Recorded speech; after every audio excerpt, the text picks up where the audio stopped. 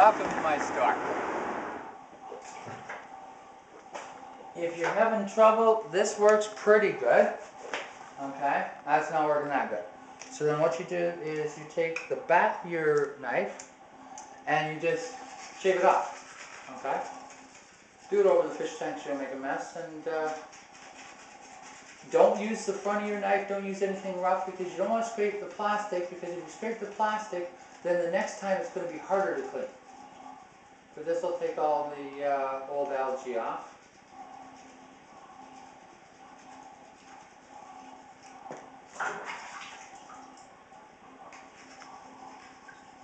So last of the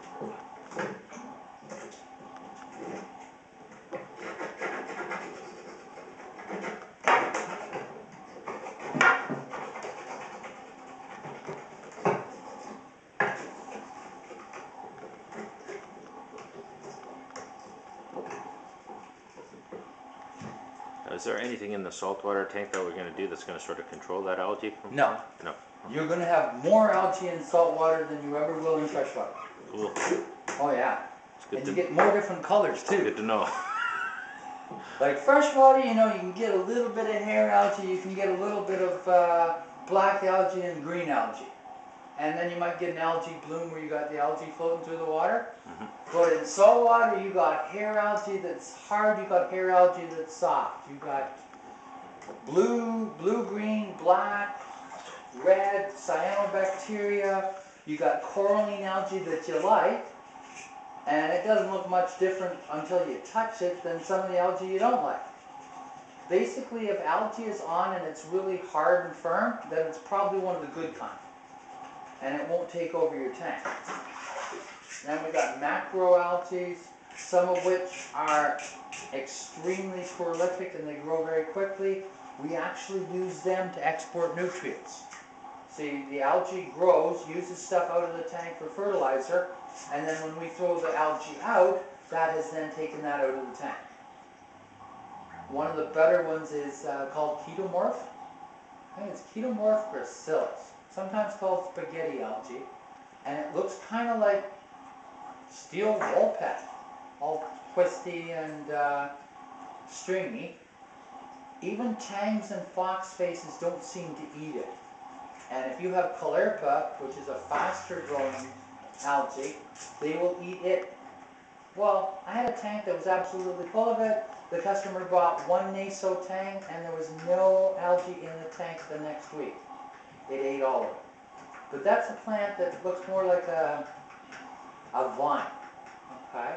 It's got these leaves or grapes or uh, fern-like leaves, stuff like that.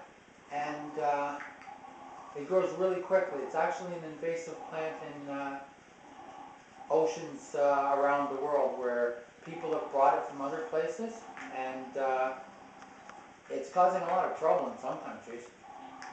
California, I think, has a ban on it. But the chaetomorph, it's a nice algae. It doesn't do that. Grows a lot slower. Plus, some people feel that the um, the caulerpa algae actually give off a toxin which hurts your corals. So if it touches them, it can grow over your coral, shade the light. If it's in the water, some people feel that uh, it actually gives off a toxin that will cause your corals not to thrive. But the chaetomorph algae, its claim to fame is that people don't think it does. Now, I don't know. See, I've had chaetomorph algae in uh, tanks and I've had the in tanks and I have my corals do good either way. I find as long as you feed them good, have lots of water movement, and don't let the uh, caulerpa shade it, you're okay. So getting down near the bottom, so we're just taking the gravel cleaner and siphoning the last little bit of uh, debris that's light enough to float. And another way to get the last of the gravel, you just suck it all up in the tube. Put it all in the tube there.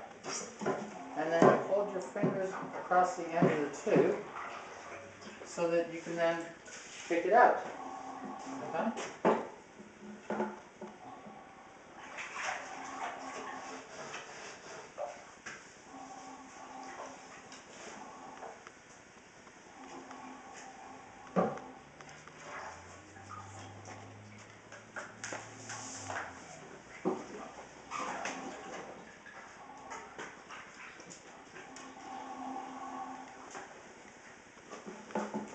Now, you're not going for perfection here. Basically, we're trying to get the majority of the old water out, but if a little bit is left in, it doesn't matter. It'll actually help your filter cycle a wee bit. Because what we're going to be doing is filling this tank up with salt water, and then we got this uh, stuff called Aragalive. Okay? This is the Regolite, and it's aragonite crushed coral with the finest laboratory grown bacteria already in it. So it makes your tank cycle a lot faster. As you can see, it's a wet pack. Okay? And it lasts for, I forget what the shelf life is, it's over a year. Oh, they give you a biomagnet clarifier. I don't know what it is. But if you read the bag, millions of uh, water purifying bacteria per pound. Okay. I don't feel anything. okay, reef sand best of use by March 2011. Okay, so it has more than a year unless they just got it last week. In which case, maybe this is only a year.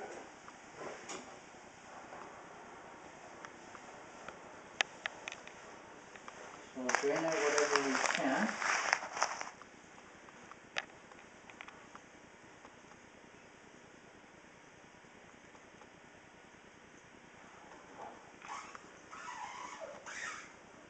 Down near the bottom. You gotta hold a little bit of an angle so that the water can actually get in.